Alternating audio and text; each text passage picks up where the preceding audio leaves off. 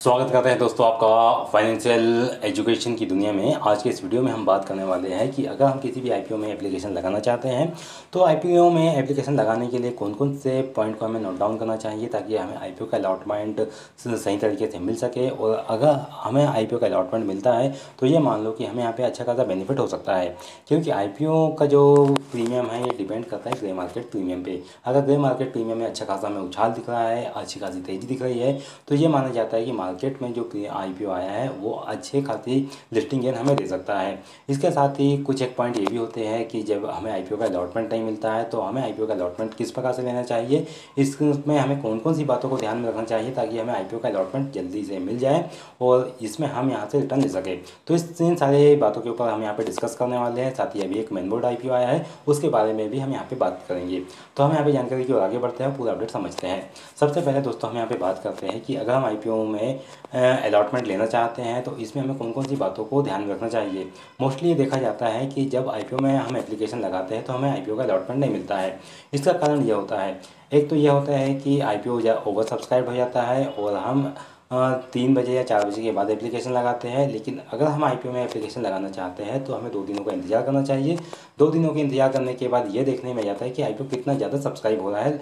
Investor का रुझान इस आईपीओ को लेकर किस प्रकार से है? अगर आई ओवर सब्सक्राइब हो जाता है तो डेफिनेटली हम उस आईपीओ में लिस्टिंग गेन के लिए पैसा लगा सकते हैं। ये तो हो गया पहला पॉइंट दूसरा पॉइंट ये आता है कि आईपीओ में एप्लीकेशन लगाने से पहले हमें एक ही ऑर्डर एक ही अकाउंट से एक ही ऑर्डर लगाना चाहिए। अगर हम एक अकाउंट से पाँच आई पी ओ दस आई पी ओ के लिए एप्लीकेशन लगा देते हैं। इस कंडीशन में ये होता है कि हमें आई पी ओ का अलॉटमेंट अगर हो भी जाता है तो हमें यहाँ पे सिंगल लॉट ही मिलेगा।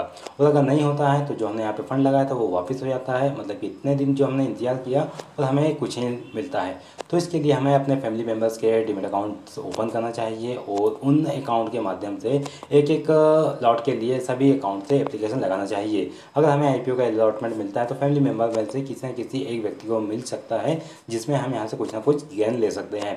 तो ये काफ़ी इंपॉर्टेंट बातें हैं, जिसको आपको ध्यान में रखना चाहिए और अगर आपका ने फैमिली मेंबर्स के डिमेट अकाउंट नहीं है तो डिस्क्रिप्शन में दी गई लिंक से आज अपना डिमेट अकाउंट ओपन करें और आईपीओ में इन्वेस्टमेंट की जर्नी को आप स्टार्ट कर सकते हैं। तो ये कुछ खास बातें थी जिसमें आई का अलॉटमेंट मिलने की संभावनाएँ बढ़ जाती है। अब हम यहाँ पे बात करते हैं कि यहाँ पे आई में एप्लीकेशन किस प्रकार से लगाए। तो आईपीओ में एप्लीकेशन लगाने के लिए यहाँ पर हम जो एप्लीकेशन के प्लेटफॉर्म का यूज़ करते हैं, वो है एंजल का एप्लीकेशन तो एंजल के एप्लीकेशन में हम आ जाते हैं, जैसे कि आपको यहाँ पे साइड में देखने को मिल रहा है। आपको होम पेज पे यहाँ पे देखने को मिलता है आईपीओ का एक बटन देखने को मिलता है। इस पर क्लिक करना है। अभी यहाँ पे जो आई आया है जिसका नाम है रत्नवीर का आई आया हुआ है। इस आई में आप किस प्रकार से एप्लीकेशन लगा सकते हैं, इसके बारे में पूरी जानकारी मिलती है। तो जैसे रत्नवीर के आई में हमें एप्लीकेशन लगाना है तो सबसे पहले तो हमें ये देखते हैं कि आईपीओ कितने दिनों के लिए खुला हुआ है। ये आई पी तीन दिनों के लिए खुला है, जो कि आज से खुला है और अगले दो दिनों तक के खुला रहेगा। तो इस आईपीओ में हम देखते हैं कि यह कंपनी एक इंजीनियरिंग सेक्टर से बिलोंग करती है। इस आईपीओ में मिनिमम इन्वेस्टमेंट जो है, ये thirteen thousand nine hundred fifty का लगेगा और एक लॉट में यहाँ पे कम से कम एक सौ पचास शेयर्स के लिए हम यहाँ पे ऑर्डर लगा सकते हैं, जिसका प्राइस बैंड जो है नाइन्टी थ्री से लेकर नाइन्टी एट का सेट किया गया है। अब इस आईपीओ में अगर हम ज़्यादा शेयर्स के लिए एप्लीकेशन लगा सकना चाहते हैं तो इसमें मैक्सिमम थर्टी फोर लॉट के लिए एप्लीकेशन लगाना चाहते हैं। मतलब कि यहाँ पे five thousand one hundred quantity के लिए हमें ऑर्डर लगाना होगा। जिसके लिए जो मैक्सिमम अमाउंट है, ये four lakh ninety nine thousand eight hundred rupees हमें अपने सेविंग अकाउंट में रखना होगा। इसके बाद ये आई में सबसे बड़ी बात आती है सब्सक्रिप्शन नंबर चेक करने की। तो ये आई जो है कि ये फाइव टाइम्स ओवर सब्सक्राइब हो चुका है और अब दो दिनों की बात है मतलब कल भी हम देखेंगे कि कल आईपीओ में कितना सब्सक्रिप्शन का नंबर मिला है।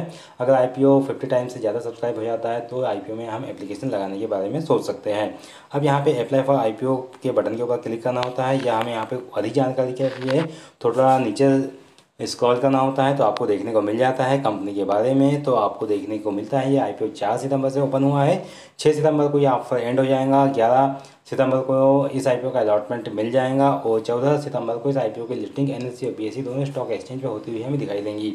कंपनी के बारे में कुछ बेसिक जानकारी यहाँ पे देखने को मिल जाती है कि कंपनी किस फ़ील्ड में काम कर रही है, कंपनी के पास कौन कौन सी कंपनी अपना क्लाइंट्स क्या है कंपनी के और कंपनी कहाँ कहाँ पे अपना जो प्रोडक्ट है वो सेल करती है या कौन कौन सी कंपनीज़ हैं जो इससे अपना प्रोडक्ट लेती है उनके बारे में पूरी जानकारी आपको यहाँ देखने को मिल जाती है। इसके बाद ही आपको इस कंपनी से रिलेटेड कुछ पॉजिटिव और कुछ नेगेटिव पॉइंट देखने को मिलते हैं। जैसे कि यहाँ पे पॉजिटिव पॉइंट यहाँ पे देखने को मिल जाते हैं, इनको हम देख सकते हैं। इसके बाद दो रिस्क के पॉइंट भी है जिनको यहाँ पर हम देख सकते हैं।